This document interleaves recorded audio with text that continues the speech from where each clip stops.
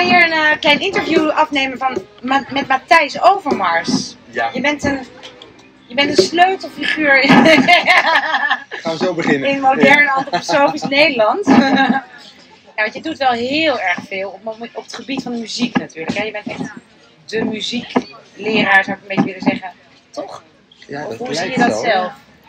Ja, ik weet niet, dat, dat, dat beeld is een beetje ontstaan. Ja. Vanuit de vrije school. Misschien ook al wat ik al op die vrije schoollerarenweek, wat vroeger de Zutphen-cursus was, maar, Ja. elk jaar al staan, dat al tien jaar of zo. Ja, Dus dat beeld gaat een beetje ontstaan. ja. Is dat niet de bedoeling? Nou, het is prima. Dus Ja. ik wil graag eh, eh, eh, mensen dingen leren en laten zien van, goh, zo doe ik dit en is dat wat voor je en neem het over als je het leuk vindt. Ja. Ik hoef niet een rolmodel eh op een voetstuk en eh, straks eh, in de krant. Dat gaat Dat is niet de bedoeling. Totaal niet. Nee. Ehm, dit hele idee van deze de vijf vragen voor Ja, is, was een ideetje van Evelien natuurlijk. Hè? had ik die vraag al eens kunnen lezen? Het meesterbrein achter dit festival. Ja. Ja, je hebt de vragen gekregen, Matthijs, via Oh, de e-mail. Maar dat geeft niks, want het zijn geen moeilijke vragen hoor. Ik zal je niet heel erg het vuur aan de schenen leggen. Maar we willen natuurlijk wel een beetje van het hemd van het lijf vragen wat we normaal niet weten van iemand. Ja. Hoe ben je terecht... Nee, vraag 1 is... Ja. Heb je een inspirerende tekst of een gedicht of iets wat jou, voor jou belangrijk is? Heb je het meegenomen misschien? Of heb je iets in je Eh, hoofd? ik, ik heb iets in mijn hoofd dat, Ja. dat ik wel zo meteen wel kan voordragen. Dat is heel fijn. Daar En was nou die andere vraag van hoe ben je met antroposofie, Ja. antroposofie aan in gekomen? gekomen? Dat die twee hebben iets met elkaar daarna. te maken. Ah, dat, precies. Vertel dat maar eens Dan even. pakken we de twee. Ja, dan pakken we twee, twee vliegen in één. Nee, dat is. Dat is ehm, ik, eh, ik ben geboren in Zeist. Ik heb daar 21 jaar gewoond. Ik heb op de basisschool gedaan. Ik heb op de Breul gezeten, hier een stukje verderop. Gewoon allemaal heel fijn regulier. En een katholieke basisschool. En ik, eh, wij, wij waren katholiek van huis uit. Ik ging dan naar de kerk. En ik werd al een organist, pianist. Eigenlijk al vrij vroeg, op mijn veertiende was het. Dat is echt heel leuk. Ik zong daar in een kinderkoor.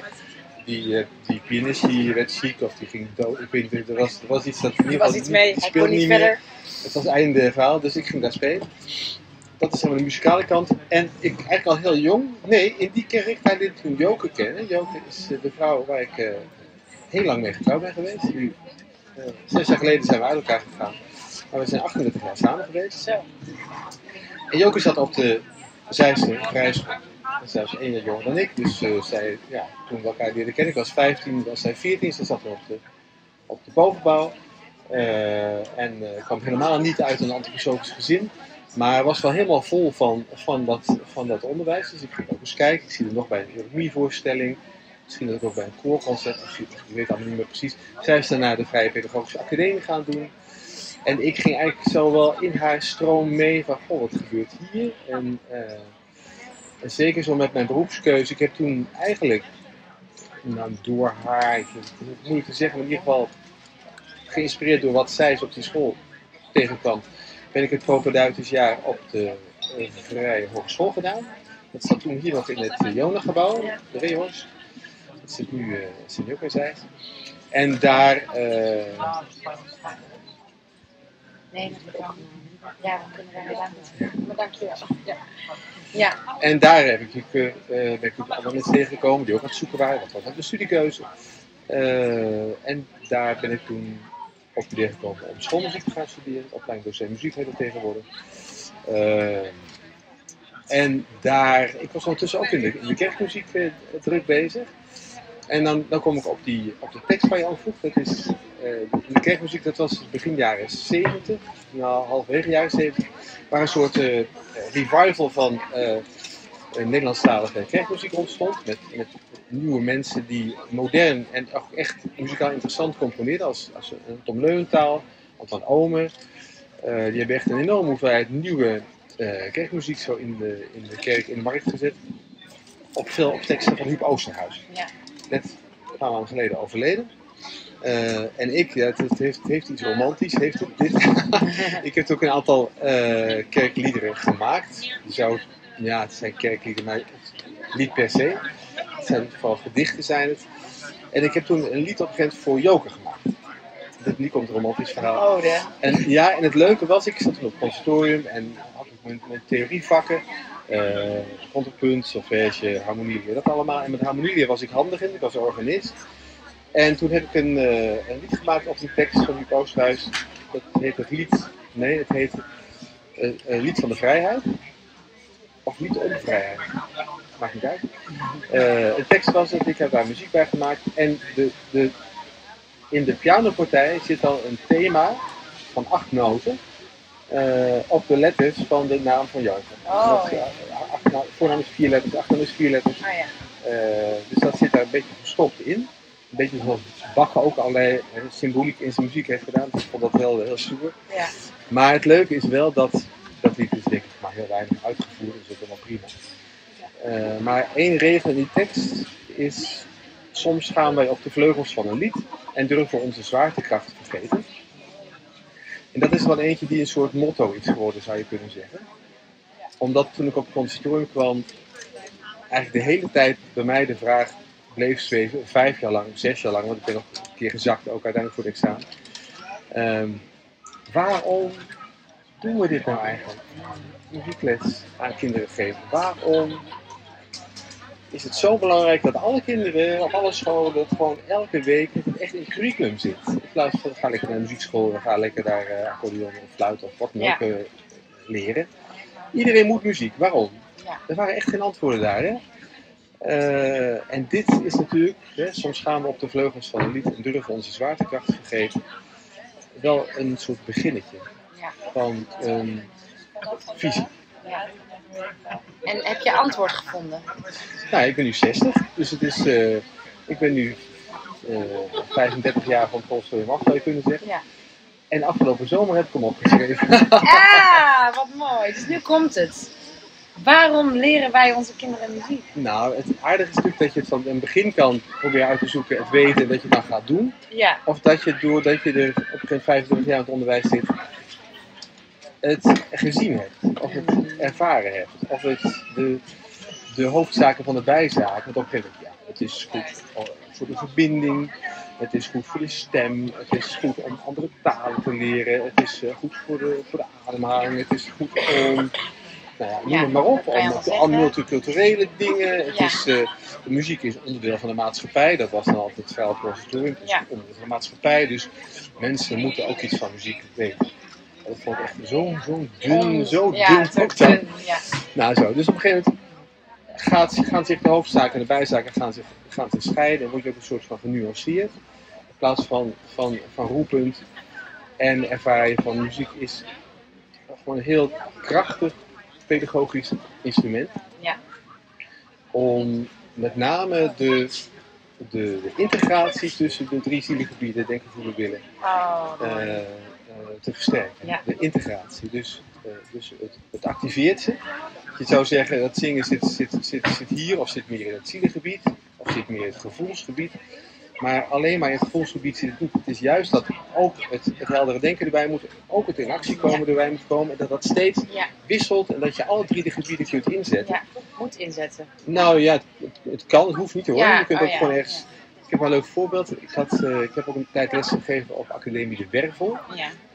Was vroeger de eh muziektherapieopleiding, of eigenlijk kunstzinnige therapie met een afdeling muziek op antroposofische grondslag. Dat is nu opgenomen in de Hogeschool Leiden. Ja. Ik gaf daar theorievakken, iets van harmonie, ook iets van solfège. Dat ze, dat ze zeg maar wat gingen begrijpen van de, van de ja, laten we zeggen, de, het- de algebra van, eh, van de muziek. Hè? Wat zit erachter? Hoe zitten de, wat voor wetmatigheden zitten erin?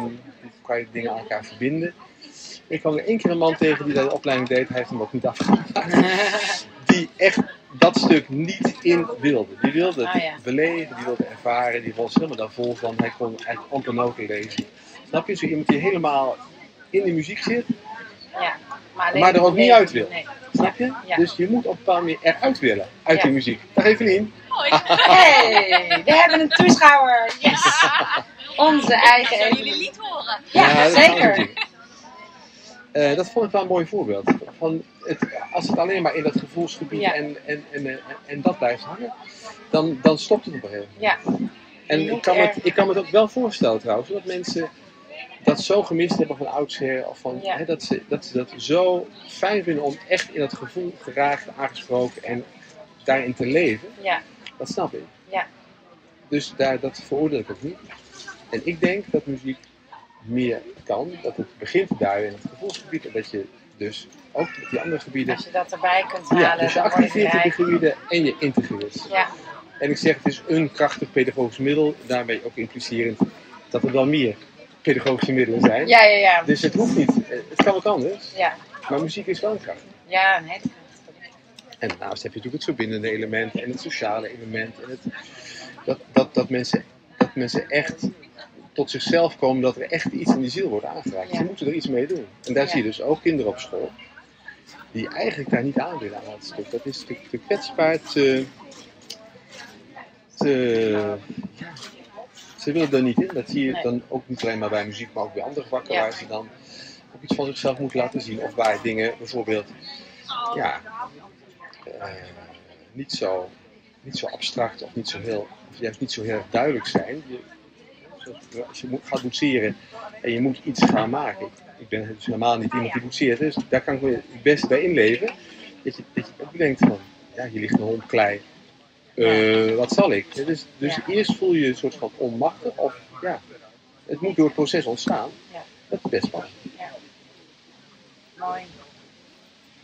Ja, dus jouw introductie in de antroposofie had erg te maken met, met je liefje, eigenlijk mag je Ja. dat zo zeggen. En dan Jazeker. kwam je daar eh, in terecht.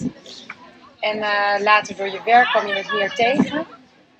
Hoe is het nu voor jou? Is, is, ben je helemaal thuis in, ja, inmiddels denk ik wel. Dat heeft natuurlijk, je zit al heel lang in, in de, in de vrije schoolwereld. En thuis, wat bedoel je waarin? in de antroposofie en de vrije schoolwereld.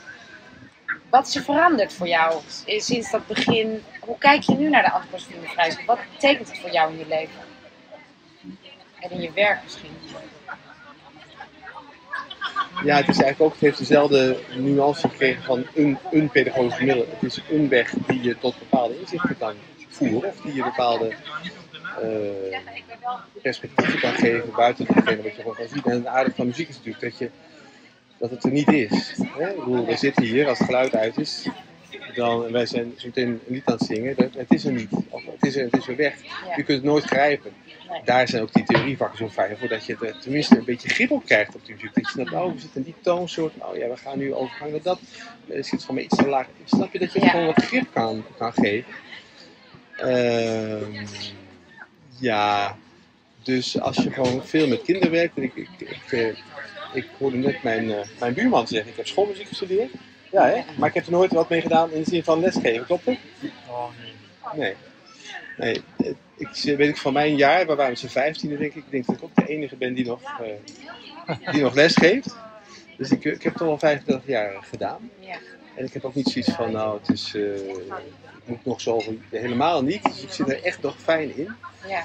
Eh, omdat je toch ziet wat het doet, dat onderwijs aan die kinderen. Dus het is, als je zegt wat is nou veranderd, het is, het is wat minder boekenwijsheid geworden. Het is eigenlijk gewoon ervaringswijsheid geworden. Waardoor je ook wat milder kan zijn. Hè? Of als dingen niet op deze manier werken, ja, dan zou je het op een andere manier moeten- doen. Eigenlijk is het de, nou ja, wijsheid is een groot woord, maar ik geloof dat ik toch het woord mag gebruiken hier. Dat je, als je met kinderen werkt, dat je het in principe niet weet. Dat het kind een, een, Nou ja, of een vraag, of een, je weet het niet. Het kind weet het zelf ook niet. Dus je moet het, je moet het ontdekken. Waar, waar kan ik aanraken? En dan heb je natuurlijk inmiddels een, een, een, een lekkere rugzak vol met, met middelen, met muzikale middelen, om die kinderen uit te dagen, in beweging te krijgen. Eh, een soort van het ambacht geleerd in de loop van die jaren, zodat je met de middelen in je rugzak en de middelen met je handen eh, wat, ja, wat kunt gaan proberen om te zien waar krijg ik die kinderen. Eh, in het algemeen met hele klassen, want ik werk natuurlijk veel met, met, met, ook met koren, met drie of vier klassen. Dan kan je natuurlijk niet individueel werken, dan werk je, dan werk je met, met de hele groep. Soms differentieer je een beetje, maar dat gaat bijna niet.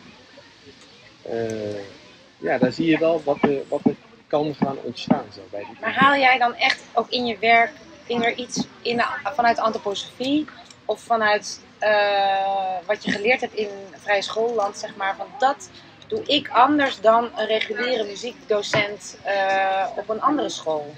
Wat, wat is er uit de antroposofie dat jou voedt of, of helpt? Nou, ik denk dat uiteindelijk het doel, wat ik zeg, de, de, die visie die ik heb, Ja. eh, heb, heb ja, dus even heb kunnen vastleggen zo voor mezelf. Ja, Dat die gaat over iets heel anders dan waar op reguliere scholen ja. mee gewerkt wordt. Dus het uiteindelijke doel, de middelen lijken misschien sprekend op. Ja. En dus in die zin is denk ik het ontzettend goed wat, wat, wat iedereen overal Ja. doet aan, aan muziek.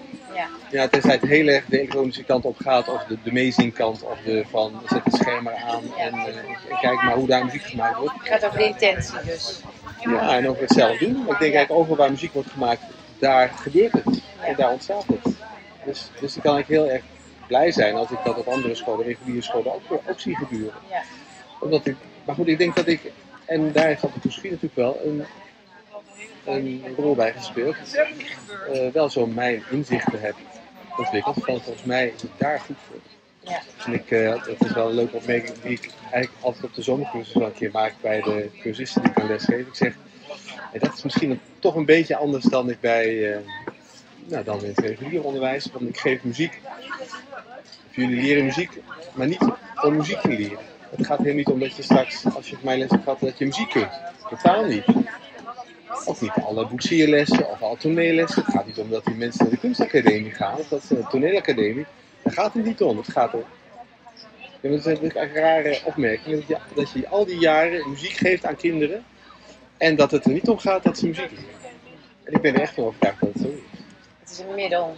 Het is echt een middel. Ja. En dat is een krachtig middel. Ja. Er zit van alles gebeuren. En als ze er later mee doorgaan, prima. Ja. Dus een van mijn subdoelen zou je kunnen zeggen, is wel dat ze affiniteit en toegang tot muziek hebben. Hè? Want zoals ik geen, geen toegang heb tot boetseren of tot echt naar schilderijen kijken of echt beeldende stukken, want daar kan ik echt weinig in.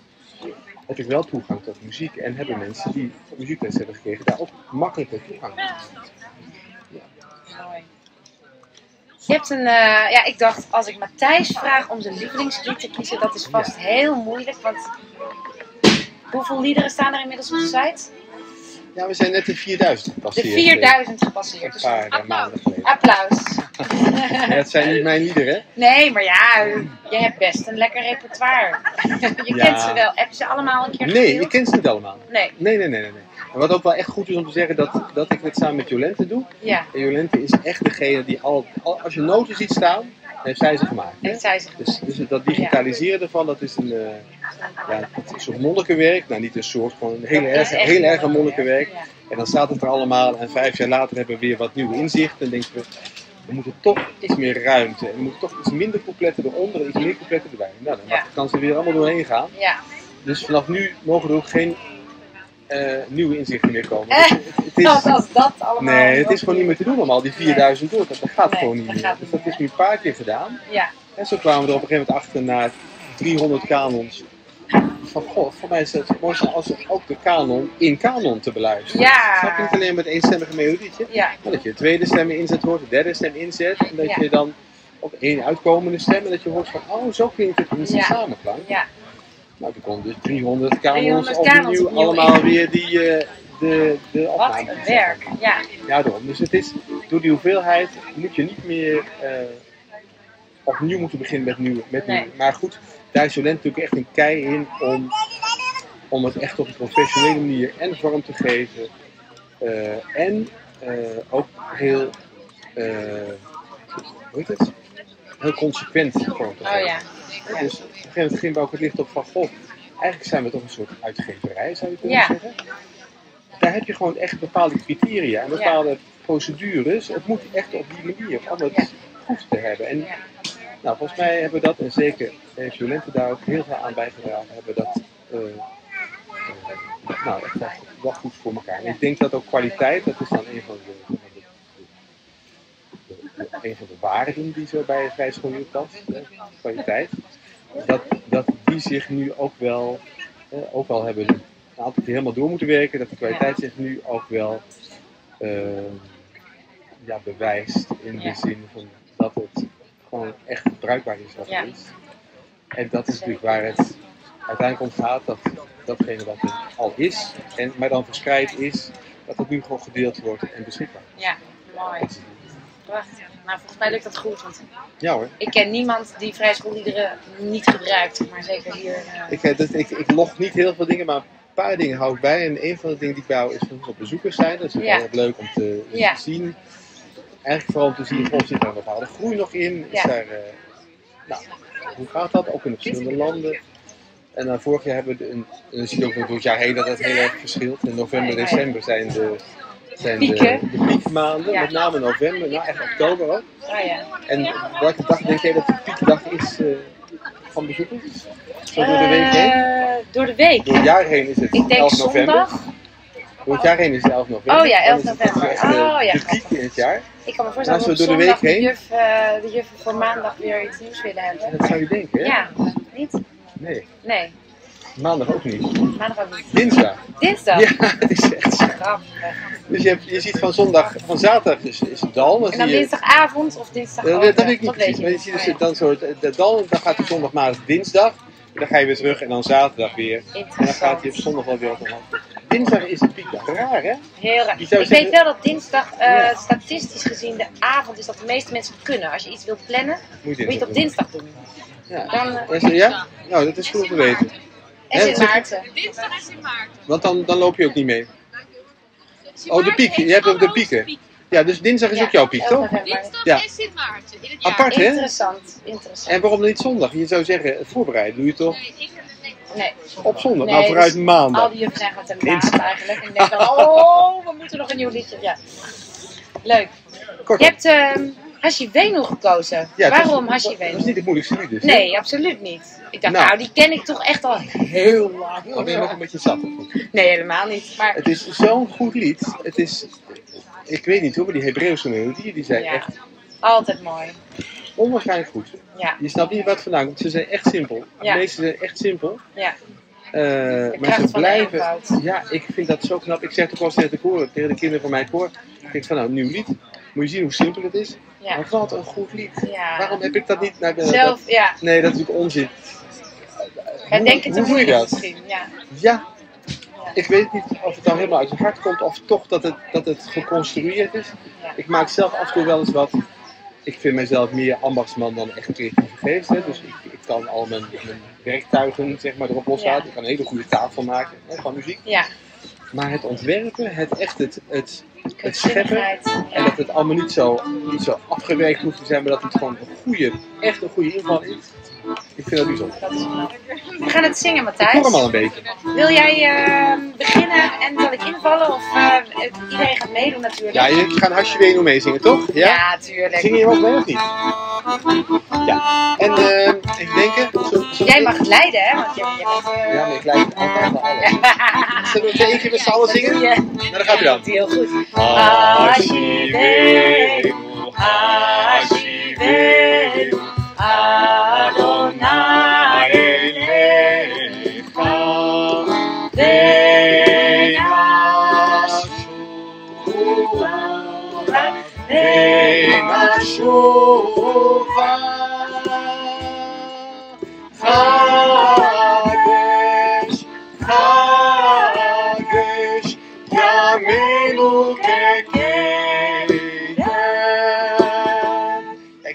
Nou ietsjes langzamer als je het goed vindt.